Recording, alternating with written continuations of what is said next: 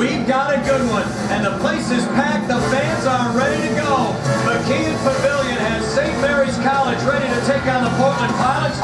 Gorgeous night in Northern California. These fans are revved up and ready to go. The game's ready, and Portland can tie or take the lead with a three as Waterford goes end to end, and this game is tied at 27.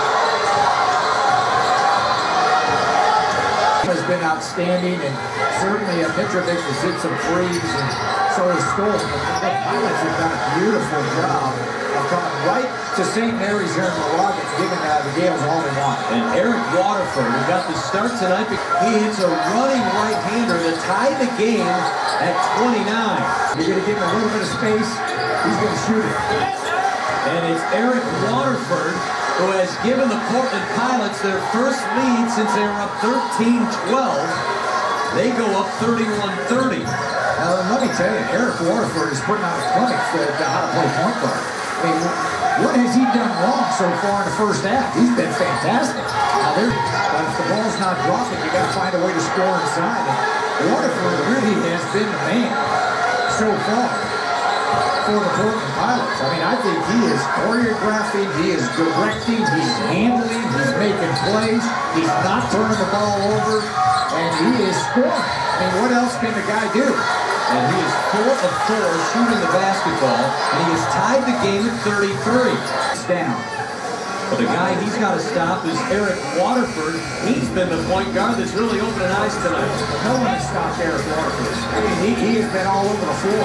He's making leaners. He's making fadeaways. He's making the runners in the lane and doing a great job of handling the ball. Play in the first half. Opportunistic Eric Waterford. See, he's just sagging in. He had vision on his man. Did a very is revved up. Mickey McConnell bewildered with three fouls, but Eric Waterford has been the story. And the Portland Pilots go into the locker room with a lead of 39-38.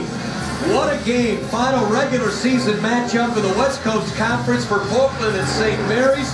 And they're doing it inside McKeon Pavilion.